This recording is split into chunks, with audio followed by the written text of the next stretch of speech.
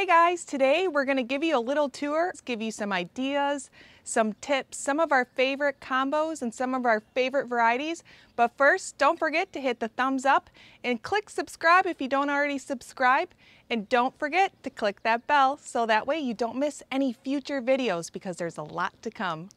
So I brought out a little step stool just so that way I can get up high enough and point to some of the varieties I'm about to kind of tell you about. So this year we added a lot more color in the boxes. Last year we did a lot of greeneries and I loved it. There was a little color added, but I knew that I wanted to implement even more color over in this space. So what I did was I added this beautiful Sumo Plum uh, petunia here. It's absolutely gorgeous, gets more of a mounding habit, so that's why you notice it coming down nice and full, but I also continue to pinch it, so that way it doesn't get just really leggy looking and kind of blah. This way it stays nice and full and bushy and fills in the corner of this window box along with that right there. So these this window box here and that window box there, they mirror each other really nice. So I wanted everything to kind of just flow and have a couple boxes the same. So that way when you see the varieties kind of falling in place, um, it just really goes together like a, a beautiful painting. So over here we have the Color Blaze Strawberry Drop Coleus. This is a Proven Winners variety. We also have it right here and it's absolutely gorgeous. Um, that's really coming down nice and behind those I have Campfire coleus, and you can't see them too well. I'll uh, get a quick little video of that as well, but they're just starting to pop out. We had a really late frost this year, a very light frost, but it was on the full moon late in May, and um, it really hit the coleus this year. So the coleus are kind of running behind a little bit. Um, but now they're just finally starting now to grow out of that little hit of frost and starting to kind of show off a little bit, but they really won't show their true colors for another few weeks, I'd say. So those are a little behind, but other than that, it's looking pretty good. So let's move on. On top is one of our absolute favorite varieties, and those are the King Tut umbrella grasses. You know that we love it. We love running those through our containers. And what's awesome about the King Tut umbrella grasses is that you can even split them in half, split them in fours, and they'll still multiply and become a huge plant for you. These here are the Rockin' Fuchsia salvias. These are a Proven Winners variety. They're an absolutely gorgeous color, but as you can see, some of the blossoms are just starting to retire a little bit. But we place salvia a lot throughout all of our gardens, every single kind of variety you can imagine, because they are a huge hummingbird attractor. They also bring in a lot of beneficials like one of our favorites, butterflies, and of course bees. And um, they, the hummingbirds really love that trumpet style flower. They just love sticking their little noses in there and uh, going to town and they're going crazy with their little wings and it's really fun to watch so that's why we place them throughout all of the gardens and that way wherever we, we, we plan on sitting or working or anything in the garden um, there's always bound to be a hummingbird nearby. Over here we have one of our favorites, another one of our favorites, and that is the lime potato vine. This is the margarita. This is by Proven Winners. The margarita is a variety that trails really long. So I have had people ask about, you know, I've planted the potato vine before. It didn't do well for me because it didn't even trail as long as yours. And that's because there are many different varieties of potato vine. So there are other varieties that are more compact. So that's why we love the margarita because we like a large potato vine, a long trailing potato vine. And that's what this is gonna do. It's gonna trail right here and then it's gonna carry over the lime potato vine on the end boxes each there. So you'll have lime, lime, lime, kind of like a, a cool triangle shape in a way. And then over here we have the Orange A-Peel. This is the black-eyed Susan. This is a Proven Winners variety as well. And they're not in blossom so much right now. They also got hit with a little frost. So those were kind of taking a little while to kind of bounce back after that. And we also had a little thrip, which we haven't sprayed it because we have so many beneficial bugs in the garden right now due to all of the wildflower areas that we added. We'll show you in another video.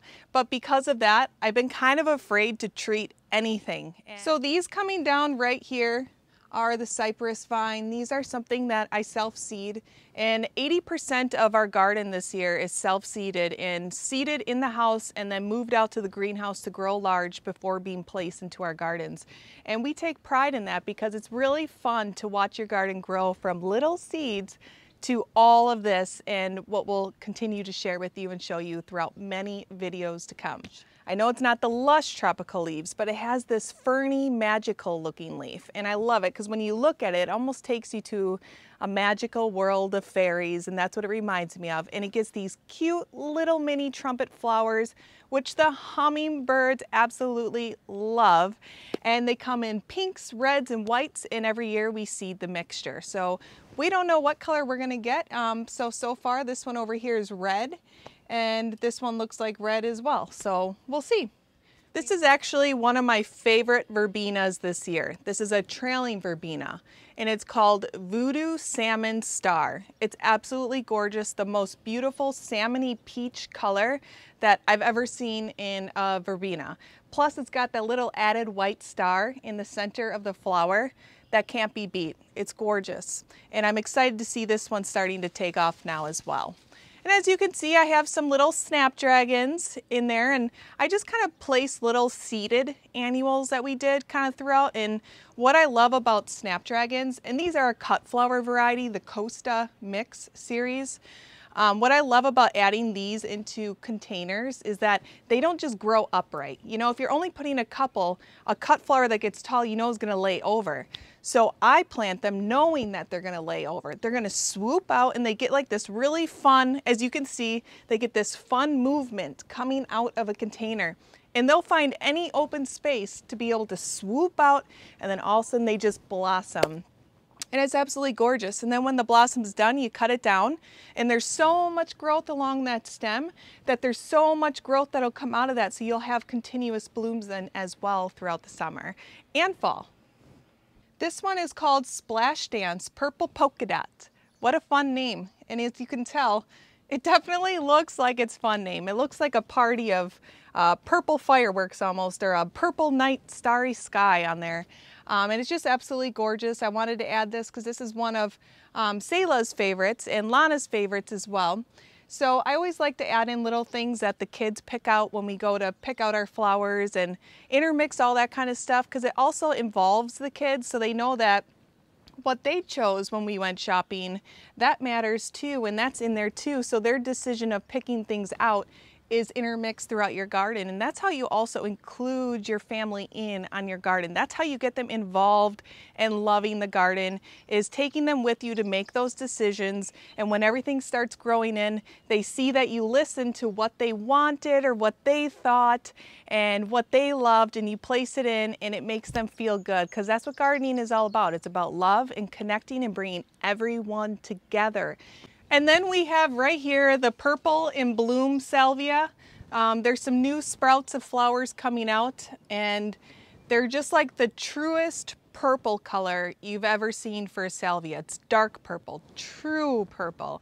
And um, that's what I love about it. So when that comes out, that adds kind of like an exaggerated, moody color coming out of all this bright, vibrant color. And I love intermixing like lights, darks, textures, brights, and mixing all of that in, it becomes a piece of art.